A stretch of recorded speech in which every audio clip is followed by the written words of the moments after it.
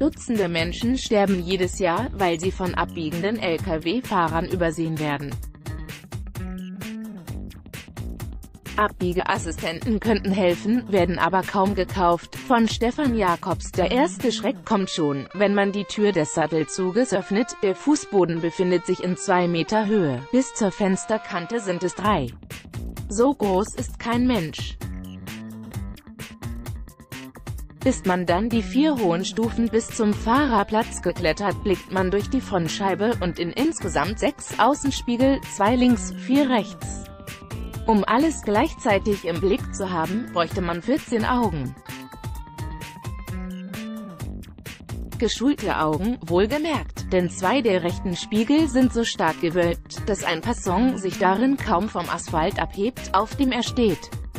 Beim Gedanken daran, mit diesem Koloss 16,5 Meter lang, 2,55 breit und beladen 40 Tonnen schwer, unter Zeitdruck durch den Großstadtverkehr fahren zu müssen, steigt man freiwillig wieder aus.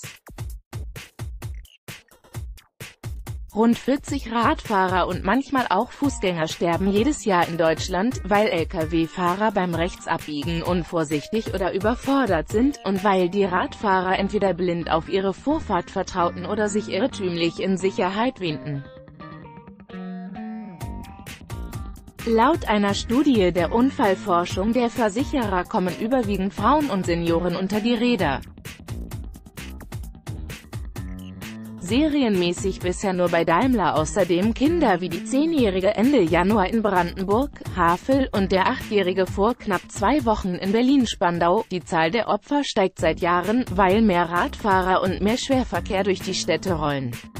Auf Initiative des Berliner Senats hat der Bundesrat den Bund aufgefordert, Lkw verpflichtend mit elektronischen Abbiegeassistenten auszustatten. Serienmäßig bietet bisher nur Daimler ein solches System an, das auch nicht bremst, sondern den Fahrer nur warnt. Am Montag lud der Hersteller auf ein Firmengelände nach Rudo, um die Technik vorzuführen. Der Lebensretter besteht im Wesentlichen aus zwei Radarsensoren, die unter einer kaum DIN A4 großen Klappe vor der Hinterachse der Zugmaschine sitzen. Die Sensoren registrieren Objekte in einem 3,7 Meter breiten Streifen rechts neben dem Sattelzug, angefangen 2 Meter vor der rechten Fahrerhausecke und nach hinten bis zum Heck des Aufliegers.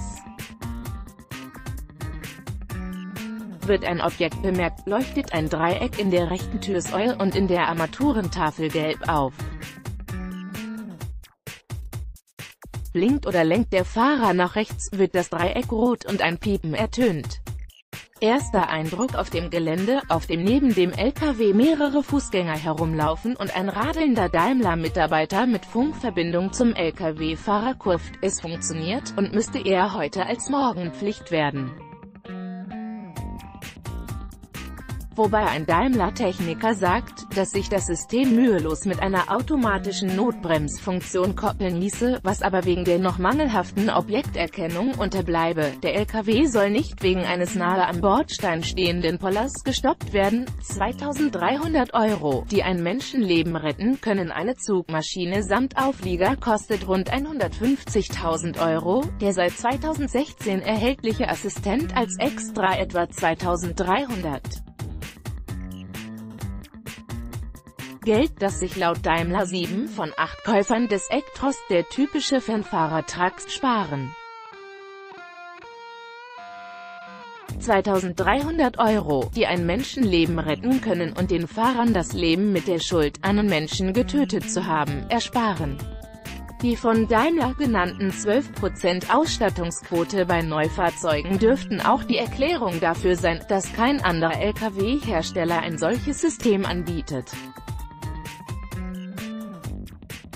Viel besser ist die Ausstattungsrate mit etwa 85% bei Neufahrzeugen des Daimler Econic, den vor allem kommunale Betriebe wie die Berliner Stadtreinigung als Müllwagen einsetzen.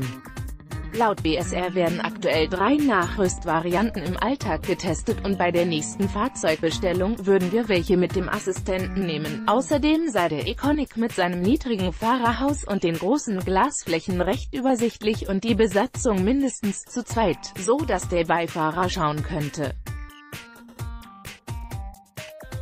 Allerdings gilt all das auch in Köln, wo ein Iconic-Müllwagen Ende Mai einen Siebenjährigen überfuhr.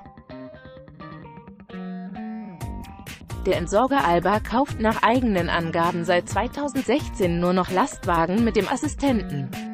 Von 100 Lkw in Berlin und Brandenburg hätten ihn aktuell 42 an Bord.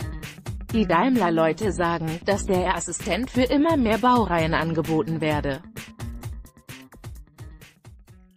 Sie berichten stolz, dass in London dank einer Sicherheitsinitiative nur noch zertifizierte Lastwagen in die City dürften. In Berlin dagegen teilt die Verkehrsverwaltung auf Anfrage mit, es gebe rechtlich zurzeit keine Möglichkeit, nur noch schwere Lkw mit Abbiegeassistenten in der Innenstadt fahren zu lassen, da auch Fahrzeuge ohne die Technik weiter zulassungsfähig seien. Deshalb habe man ja die Bundesratsinitiative gestartet. Bis die wirkt, werden noch Dutzende Menschen sterben.